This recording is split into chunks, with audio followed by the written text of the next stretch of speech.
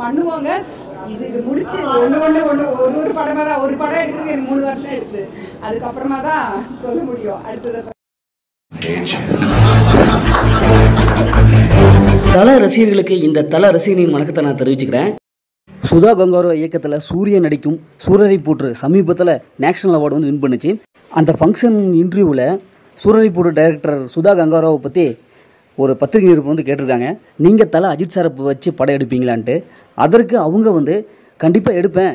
இப்போ வந்து இப்போ சமீபத்தில் சூர்யா கூட ஒரு படம் வந்து கமிட் ஆகியிருக்கேன் அந்த படத்தை முடிச்சுட்டு அதுக்கப்புறம் தலை அஜித் சாரை வச்சு படம் எடுப்பேன். ஏன்னா எனக்கு ஒரு படம் எடுக்கிறதுக்கே ரெண்டு மூணு வருஷம் ஆயிரும். அப்படின்னு சொல்லிட்டு அந்த இன்டர்வியூவில் சொல்லியிருப்பாங்க. ஏற்கனவே ஜிவி பிரகாஷ் அவங்க வந்து ஒரு இன்டர்வியூவில் சுதா கங்காரு அவங்கக்கிட்ட வந்து தலை அஜித் சாருக்கு தேவையான ஸ்கிரிப்ட் ஒன்று ரெடி பண்ணி வச்சுருக்காரு.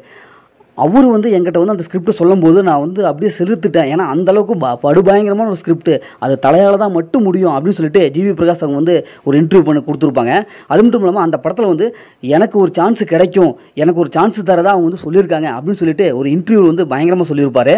மாஸ் ஹீரோக்களுக்கு ஒரு தரமான படத்தை கொடுக்குற வரிசையில் சுதா கங்காரும் ஒரு சூப்பரான ஒரு டைரக்டர் அவர் சமீபத்தில் டைரக்ட் பண்ண சூரரை போற்று படம் வந்து அஞ்சு அவார்டு கிடச்சிருக்கு.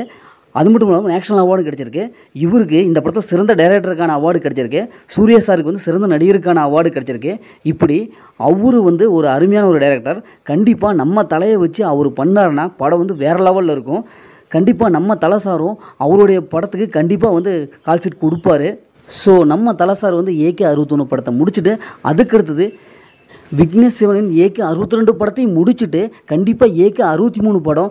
டைரக்டர் சுதா கங்காரோ அவரு கூட இவர் வந்து இணைஞ்சார்னா கண்டிப்பாக படம் வந்து ஹிட் அடிக்கும்.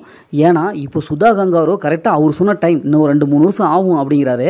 அவர் சொன்ன டைமுக்கும் நம்ம தலை சார் இந்த ஏகே அறுபத்தொன்று அறுபத்தி ரெண்டு படத்தை வந்து கம்ப்ளீட் பண்ணுற டைமுக்கும் கரெக்டாக இருக்கும்.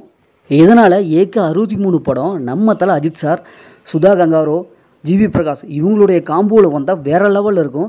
தலை ரசிகர்களே இதை பற்றி நீங்கள் என்ன நினைக்கிறீங்க அப்படிங்கிறத கமெண்ட் பாக்ஸில் கமெண்ட் பண்ணுங்கள் தலை ரத்தங்களே தலையை பற்றின சின்ன சின்ன அப்டேட்டாக இருந்தால் கூட நம்ம சேனல் டக்குன்னு வந்துடும் நம்ம சேனலை சப்ஸ்கிரைப் பண்ணுங்கள் இந்த வீடியோவை தலை ரசிகர்களுக்கு ஷேர் பண்ணுங்கள் ஓகே தலையை பற்றின மீண்டும் ஒரு புதிய அப்டேட்னு சந்திக்கிறேன். உங்களிடமிருந்து விடைபெறுவது உங்களில் நான்.